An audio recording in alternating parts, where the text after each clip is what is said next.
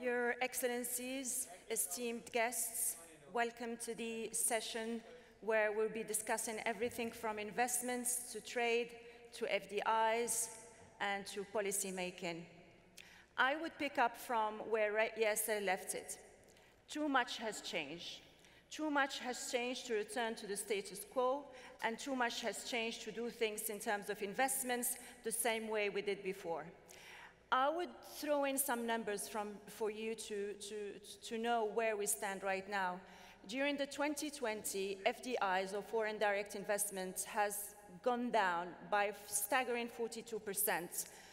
Uh, this is much worse than the fall we've witnessed right after the financial crisis in 2008, 2009. We stand at 859 billion, uh, whereas in 2019 we were at 1.5 trillion dollars in terms of FDIs.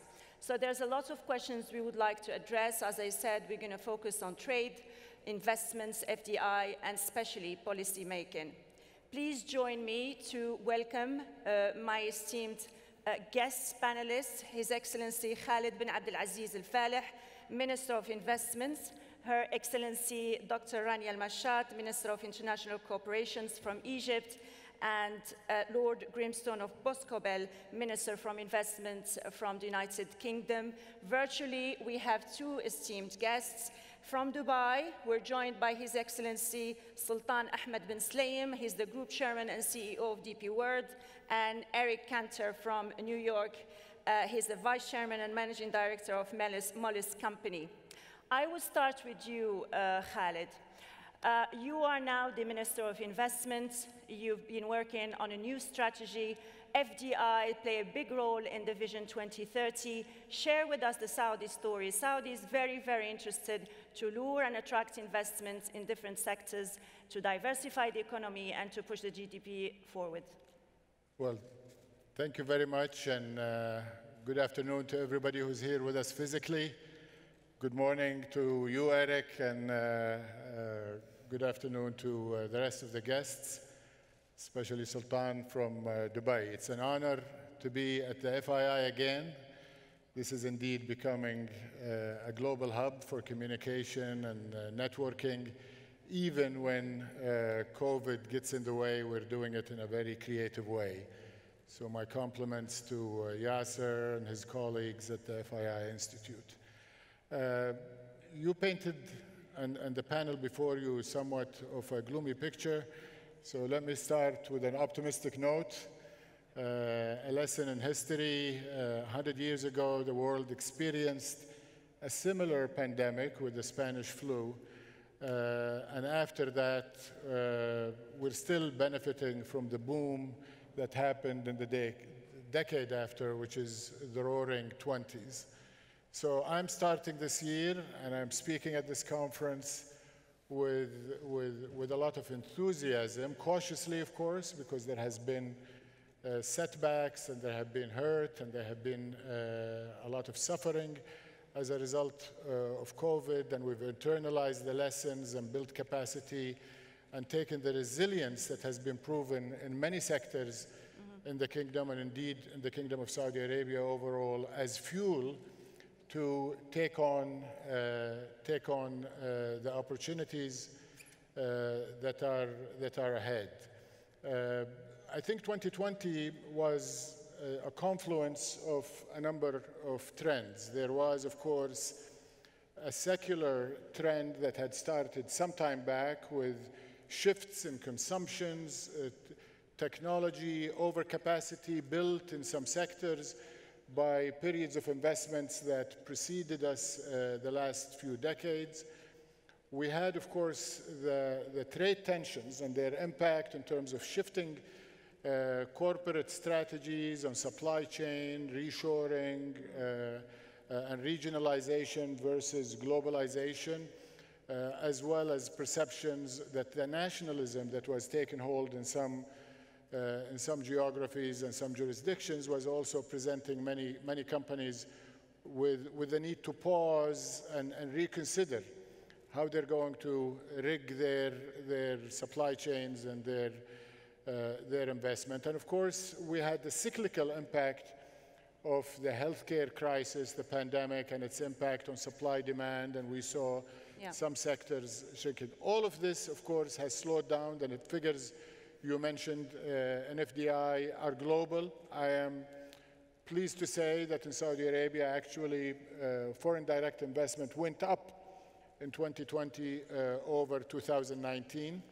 Uh, I think the, the, the, the pandemic has brought to, to the fore the capacity of certain countries, certain governments, certain policymakers yeah. that, that could manage multiple crises at the same time, a health crisis, an economic slowdown, safety and well-being, balancing lives and livelihoods, and showcasing who are the governments, who are the countries, who are the policymakers that could provide uh, security to the investors as well as the population. So if you ask about Saudi Arabia, I believe we handled it better than most. And I think that is giving, ultimately, investors want to trust the government that is looking after them. And I believe Saudi Arabia, we'll, through our leadership, has shown that. We'll come back to the sectors and the uh, policy making that Saudi is also focusing on. Dr. Rania, what we've noticed in the past, in the last couple of years, that there was this sort of dependence. Every single country wants its work its way out, regardless the others. What COVID brought as an advantage is the comeback of interdependence, comeback of uh, uh, uh, the diplomacy in economics and business. You speak a lot about that. Um, is, has this become so important now and there is no way we can go back to the way we used to see things happen in the last few years? Well, thank you very much. I'm very uh, happy to be here, and I want to congratulate uh, PIF and FII for, uh, for hosting all of us physically who are here. Um, absolutely. At the beginning of 2020, uh, there was uh, a lot of rhetoric around countries being more isolated and that everyone on their own. But as April came along, May came along, the importance of collaboration, the importance of multilateralism came, came back to the fore in a very forceful manner uh, but it's multilateralism uh, with innovation. Uh, in the portfolio that I handle, which is the Ministry of International Cooperation, we try to promote and foster principles uh, of economic diplomacy, and the idea is to actually push forward more international partnerships. And to give examples, uh, the portfolio that we handle, which includes uh, very important projects across different sectors in the country, transportation, renewable energy, SMEs, uh, health sector, uh, uh, etc., are all done with international institutions. And as uh, was mentioned in the earlier panel, uh, today financing and the cost of financing is something that uh, different companies and different countries are looking very closely at. Development financing is a very important uh, source. It's one that uh, is lower in cost and it's one that uh, provides longer terms of paying back. And therefore, countries that are interested to distinguish themselves uh, need to provide uh, a very important opportunity, not just for their sovereign projects, but also for the private sector, whether domestic or foreign, to be able to be, tap on these bankable projects, come in and find uh, the uh, acceptable uh, terms of financing through development uh, partners. Um, in 2020, despite it being a very tough year, through our principles of economic diplomacy, we've been able to secure close to $10 billion uh, across different sectors in Egypt. Uh, and let me say that um, one of the other fears at the beginning of 2020 uh, was that the Sustainable Development Goals uh, and that agenda was going to be a little bit uh, an afterthought. And what was very, very uh, timely and quite critical is that the 17 SDGs uh, became uh, quite tangible on an individual level, on a country yes. level, on a firm level. And today you find different uh, companies talking about ESG principles and so forth. So countries that really want uh, to be able uh, to attract uh, investments need to be mindful of these global principles in, in, in, putting their policies together. This will bring me to a question that uh, I think it's key under DP World uh, operations and it is infrastructure connectivity. Uh, Mr. Sultan, could you share with us your reflection on, on the COVID challenge? Keeping trade flowing was something very, very important during the pandemic, especially during 2020.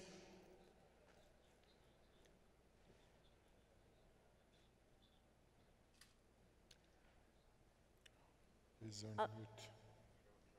We're not, we, we can't hear you.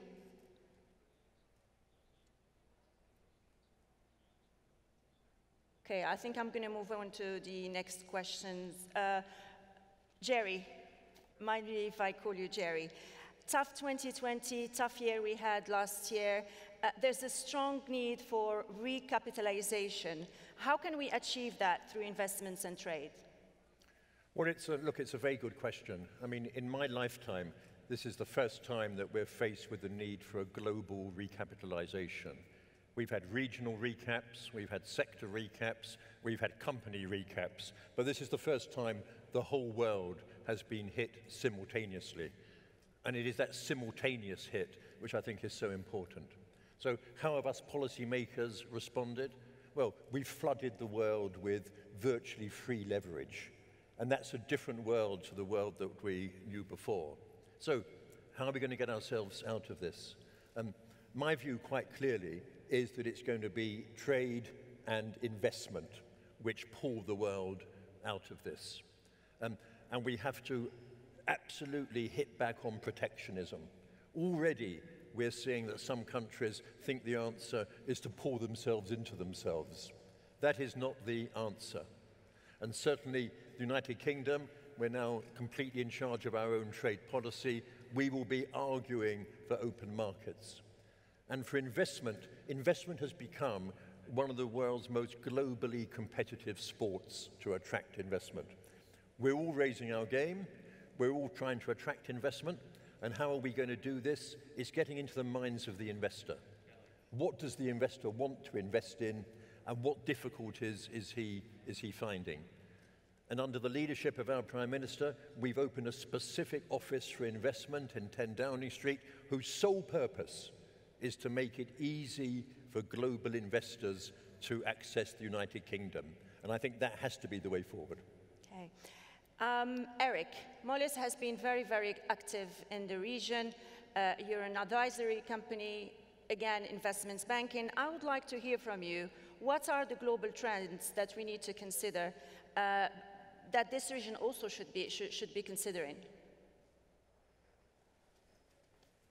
Uh, well, Fatima, thank you. And Khalid, it's a pleasure to be here and share the panel with you and these other esteemed guests. I also want to thank uh, PIF, Yasser, and his team uh, for pulling this off in this very challenging time. Uh, but, you know, there, there is, uh, I think, a, a, great opportunity for us coming off of this uh, very unusual and challenging year of 2020. I just looked to the region that you sit in, in the Gulf, and it seems to me that was the correct response to 2020 and all that we've been through is the vision inherent in the Crown Prince's Vision 2030. Uh, the reason why I think Moelis has committed itself uh, to the region in the way it has is it sees so much opportunity uh, because uh, folks uh, in the government, uh, in the kingdom, have said we need and we want outside investment. And Khalid, you spoke of some of the things that had occurred in the kingdom when the pandemic hit uh, and the moves that were made uh, to make sure that multinationals that were present uh, were acknowledged and their importance accepted in terms of this global value, uh, value chain that exists.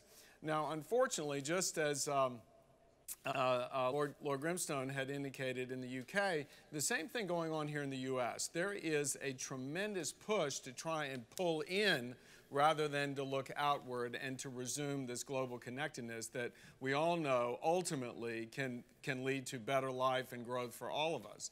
Uh, but I will say, um, you know, given the sort of trade disruptions that the pandemic has caused, as well as the policy bent in, in Washington of the last administration, we have all begun to take stock of where our critical and strategic industries are, why aren't they here at home? And why is it that we're relying on potential uh, uh, countries who may not see our interests first in order to provide us with those uh, critical goods and services? I mean, just remember, it wasn't too long ago that we all were desperate to find more masks and protective equipment for the pandemic. So I do think that those are the trends that are impacting on the policy level and on the investment level, uh, the steps that have been taken by countries uh, to ensure that they invite in investment, that they have certainty for the investor, stability um, of expectations. Uh, I think that, that we can all begin to resume a, a much more normal course of international investment and foreign investment. This brings me back to Sultan. I would like to hear from you how important has become the uh, connectivity in terms of infrastructure. One key thing that governments worked hard day and night is to keep trade and supply chain flowing. Absolutely. Uh, last year event, I said that connectivity would be at the heart of the region uh, economic success. And this will be critical to achieving uh, Saudi Arabia 2030 vision. Uh, connectivity includes uh, not just infrastructure, it is people, technology, and talent. And I tell you, during the pandemic, we learned so much about technology. We were caught in a, in a situation where we can't mix with people. We accelerated many platforms uh, during the pandemic. We had no choice, and that helped us. Actually, with the pandemic, which is one of the great things about it, that we really worked so hard in developing new technologies that allowed us to connect with everybody. Connectivity is very important. Supply chains are shifting. Uh, reshoring is increasing. Interregional trade flows are more important than ever. Uh, the region is ready to take advantage. I think what, what happened in 2020 uh, gave us an experience, uh, a challenge we never hear, have seen before. We learn how to cope with it and deal with it. Uh, we never allowed any of our ports to be closed. We moved our people to the port to avoid unlocking. But what we did, we made sure we comply with all the sanitation and requirement to save our people. Uh, going forward, I believe that uh, despite what you see in the pandemic today as more and more uh, cases are happening, actually with the vaccine, we have a big role now in supply chain. We can transport it. And with the vaccine available, it's the end of the pandemic. I will be sharing His Excellency Khalid Falih, uh, his uh, uh, vision that there is optimism. What we've been through gave us really strong ability to deal with this. Uh, also, the pandemic taught us that the world can't really be supplied from one source. China became uh, an obstacle when, when it closed, and people realized. And today, for the region, uh, many companies who are foreign and Chinese who are in China are looking for different areas to produce closer to the market. They really found it is very important to be in different areas for the supply chain to work. And Saudi Arabia is the heart of this. We really, we are developing now uh, Jeddah Port investing $500 million. And during the pandemic, we learned what else we can do to make sure that we can react to any challenges we have. Yes. Uh, Khalid, I'll come back to you. Policy making is key, and the gap that we need to bridge between policy making and investors is still a little bit wide. So you are working on that. You're working on setting up new policies, new regulations that would lure investors in Saudi Arabia. What are these new uh, legal and regulatory frameworks that would support the future of FDIs? Well, you know, first of all, they have to be all directed uh, uh, to, to addressing the risk uh, return trade-offs that investors have to, have to make. Uh, and any risk that is properly managed and owned by the government should be shifted in that direction versus being left for the investor to worry about and build into their return expectations and therefore make the projects more difficult to, uh, uh, to achieve. So we've looked in the kingdom at over 400 regulations and half of them have been revamped. The kingdom has made leapfrog in both uh, our position globally and many of the indices and more will be coming in terms of risk of doing business as well as the ease of doing business. In addition, we have to be specifically focused on the sectors and technologies of tomorrow. And we've seen through COVID the increased importance on biotechnology, on information, on data, on digitalization, on logistics, as Sultan mentioned, and the importance. And there are specific regulations that are sector specific that, that looked at IP, that looked at uh, access to data and ownership of, uh, of data, that every competitive country in a very competitive world is looking to place themselves uh, at the forefront. And, and of course, the other thing which complements these regulations, the entire eco ecosystem, is, is the infrastructure. And, and that goes into connectivity and, and, and logistics as well. But increasingly, the digital infrastructure is more important than the physical infrastructure and how to regulate it, how to build it, how to make it the platform through which all companies today need, whether they're dealing with manufacturing and advanced manufacturing, fourth industrial revolution, whether it's research and development in biotechnology uh, or, or, or uh, e-commerce uh, or logistics. All of these need strong infrastructure in the digital space supported by enabling regulations and that's, that's my number one and my ministry's number one uh, uh, Gerry, can we easily bridge the gap between policymaking and investors? I have a very clear view of this. You have to bring investors into the heart of policy making. You have to face policymakers with investors, and you have to turn all of our investment aspirations into investable projects. Because what do you learn from investors? You learn two things. You learn what they want to invest in, and you also learn what are the barriers to investment. And all of us have an equal job in removing barriers in the same way as we have a job in attracting investment. Uh, Dr. Rania, you're a tech enthusiast, and you do think that digitalization is the way forward, as uh, uh, Khalid mentioned. Um, uh, can you share briefly with us where does Egypt stand on this? Uh, so of course, uh, uh, the biggest experiment on the need for digitalization has been COVID. We, were not, we would not have been able to pass uh, a year with education unless we had done reforms on the education system through digital um, uh, tools. Uh, similarly, the, when we talk about trade, and let me just link digital to trade, um, one of the ways to reduce, reduce cost of trade is through digital platforms, etc. And there have been uh, several measures uh, that have estimated uh, if digital tools are used in trade, we are able to actually increase trade by one to two percentage points over time, and that increases to growth as well.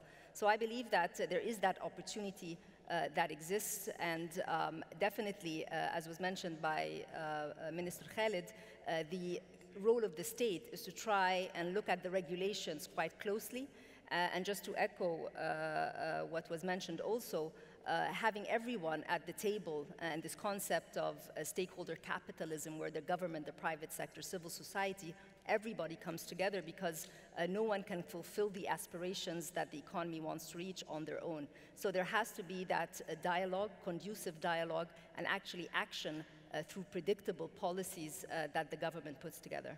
Um, Eric, do you agree as a, as, a, as a major player in the region? And what do you think should be done to make this gap smaller between investors and policymakers? Well, I, I, absolutely agree that having the investors at the table uh, makes a big difference. Again, uh, in my former life as a policymaker on Capitol Hill, it was always a dangerous thing to have policymakers begin to think that they knew what investors were thinking rather than asking the investors to see what was necessary to bring down those barriers. And I know that in discussions with our clients, uh, now at Moelis, you know, what we're seeing in terms of interest in the region is that there is a signal by the government, uh, in the government in the kingdom, UAE, and elsewhere uh, in the Gulf that says, please come, and we want to see this investment. And if you look at some of the larger trends that are unfolding across the investment universe, obviously we've talked a lot about E and the ESG.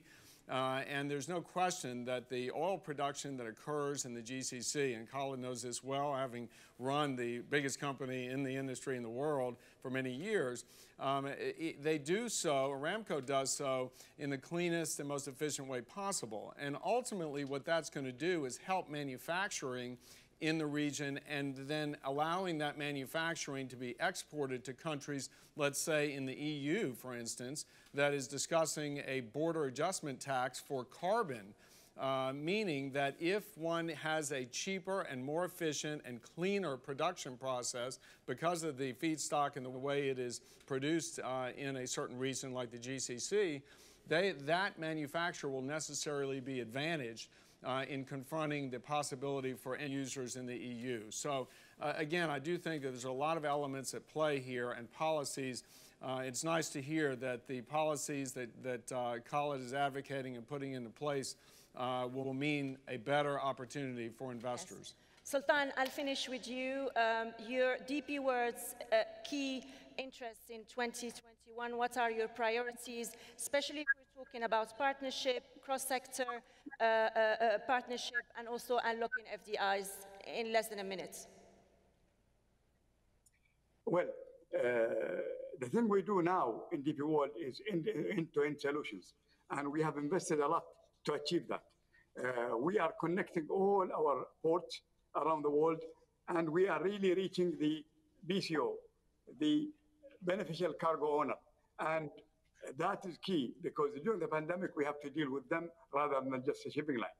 So this is something we will continue to do more to lure them into our area and connect them by giving them advantage throughout our terminal uh, integration. Sultan Al Sulayem, uh, Group Chairman and CEO of DP World, Eric Cantor, Vice Chairman, Managing Director of Moelis Company, joined me from New York, DP World, of course, from Dubai, His Excellency Khalid Al Falih, the Investment Minister, Saudi Arabia, Dr. Rania Al Mashat, the um, Minister of International Cooperation, and also Lord um, uh, Grimstone of Boscobel, Minister of Investment from the United Kingdom. Thank you very much. Thank you for uh, watching us and thank you for joining us. And uh, uh you might remain seated because we have a special address shortly.